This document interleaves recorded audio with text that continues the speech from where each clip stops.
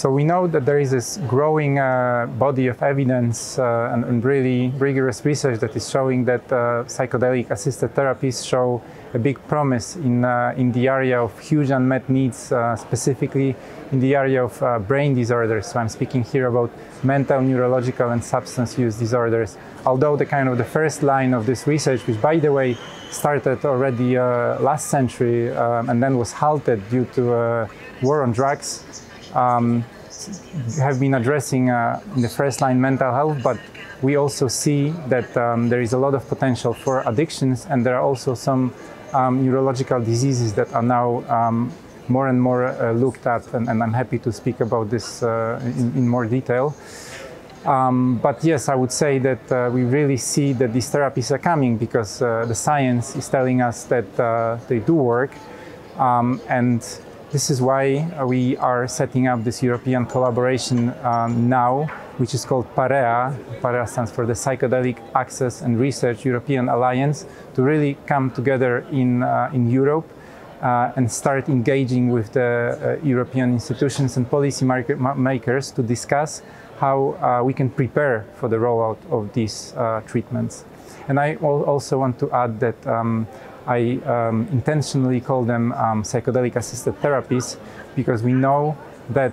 this time it's no longer just a, a molecule alone at work. We are talking here about uh, a, very interesting combination, which is a combination of, uh, of a drug and a therapy. So what's critical really uh, in this field is that um, you don't just get, uh, uh, you're not just administered the, say, the psychedelic substance, but you have a really very strong therapeutic kind of envelope preparation. You have therapies during um, the, the, the, session, and then you have a follow up kind of after care, care provisions uh, so that people can better uh, integrate their experiences. So yes, I, I like uh, you mentioning the main, main, mainstream mental health services because we really want these treatments to become um, part of the mainstream, of course, evidence-based uh, effective interventions, just like any other intervention in the area of brain health. For this to happen, of course, we still need more research to really show that uh, these uh, therapies are safe and effective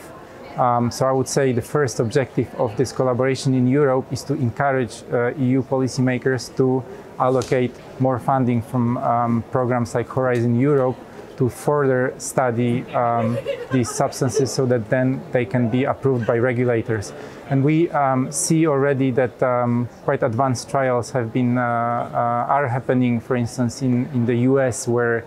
um, there are third stage clinical trials for MDMA assisted therapy for PTSD, and it's not unlikely that FDA will approve this therapy sometime towards the end of, of the next year. And so this is something um, you know we need to keep in Europe because this will also this will also come. But we need still more research, as I said.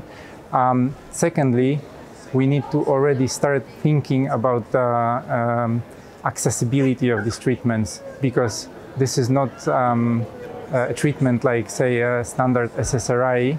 um, they need proper infrastructure, they need trained therapies. What's really important also is that um, we look at, at safety um, because therapists will be working with patients um, with altered states of consciousness. So how really we chart these new uh, territories, how we make sure that there are guidelines, there is, you know, um, really a, a uh, emphasis on on, uh, on safe uh, safe administration and safe kind of circumstances for this. Also,